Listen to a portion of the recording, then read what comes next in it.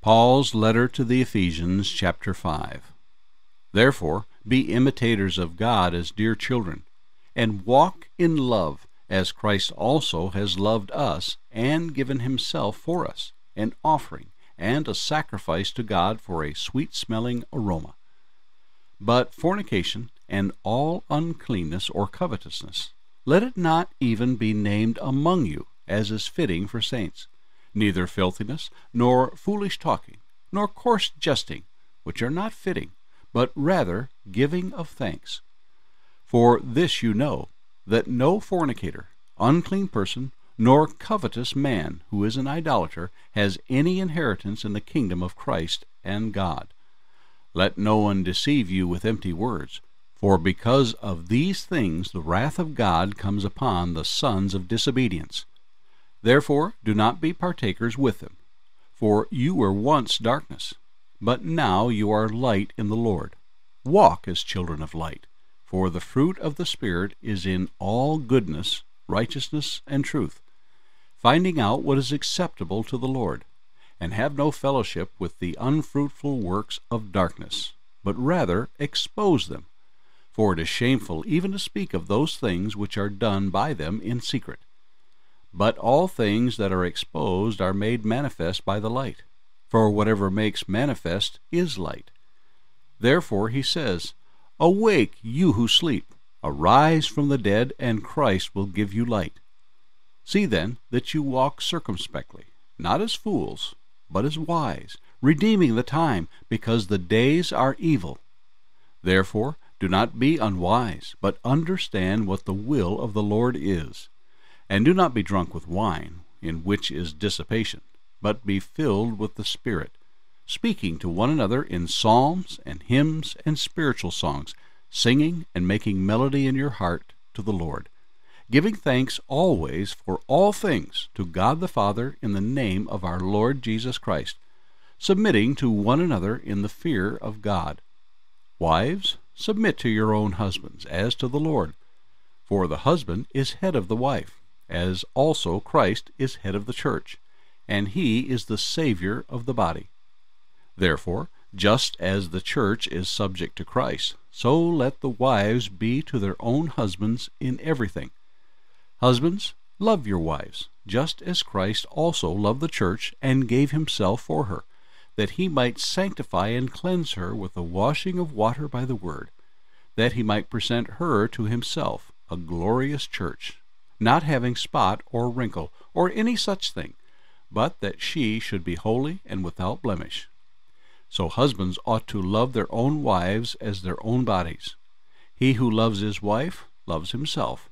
For no one ever hated his own flesh, but nourishes and cherishes it, just as the Lord does the church.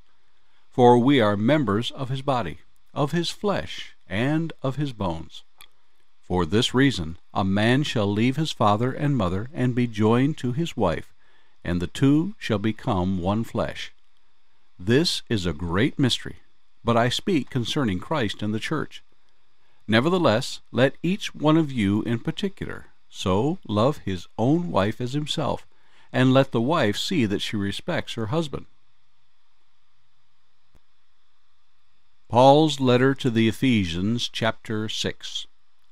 Children, obey your parents in the Lord, for this is right. Honor your father and mother, which is the first commandment with promise, that it may be well with you and you may live long on the earth.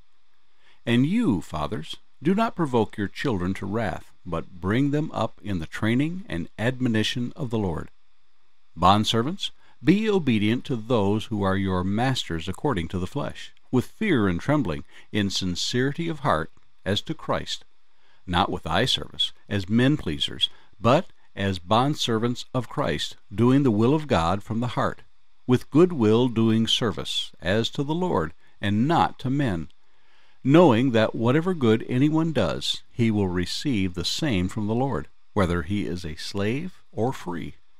And you, masters, do the same things to them, giving up threatening, knowing that your own master also is in heaven and there is no partiality with him.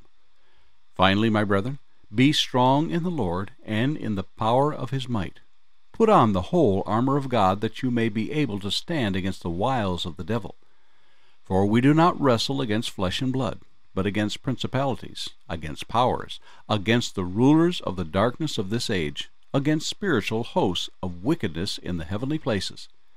Therefore, take up the whole armor of God, that you may be able to withstand in the evil day, and having done all, to stand.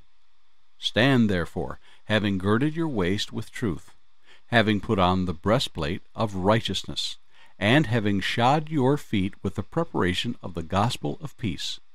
Above all, taking the shield of faith with which you will be able to quench all the fiery darts of the wicked one.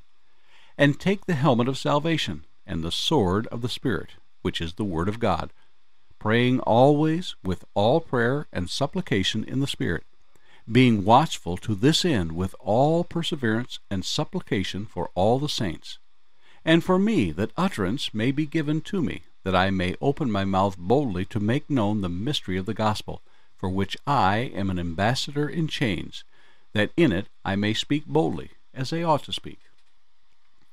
But that you also may know my affairs and how I am doing, Tychicus, a beloved brother and faithful minister in the Lord, will make all things known to you, whom I have sent to you for this very purpose, that you may know our affairs, and that he may comfort your hearts. Peace to the brethren, and love with faith, from God the Father and the Lord Jesus Christ. Grace be with all those who love our Lord Jesus Christ in sincerity. Amen. The end of Paul's letter to the Ephesians. Psalm 140 To the chief musician, a psalm of David. Deliver me, O Lord, from evil men Preserve me from violent men, who plan evil things in their hearts. They continually gather together for war. They sharpen their tongues like a serpent. The poison of asps is under their lips. Selah. Keep me, O Lord, from the hands of the wicked. Preserve me from violent men who have purposed to make my steps stumble. The proud have hidden a snare for me, and cords. They have spread a net by the wayside. I said to the Lord, You are my God. Hear the voice of my supplications, O Lord. O God, the Lord, the strength of my salvation, you have covered my head in the day of battle. Do not grant, O Lord, the desires of the wicked. Do not further his wicked scheme, lest they be exalted. Selah. As for the head of those who surround me, let the evil of their lips cover them. Let burning coals fall upon them. Let them be cast into the fire, into deep pits, that they rise not up again. Let not a slanderer be established in the earth. Let evil hunt the violent man to overthrow him. I know that the Lord will maintain the cause of the afflicted, and justice for the poor. Surely the righteous shall give thanks to your name, the upright shall dwell in your presence.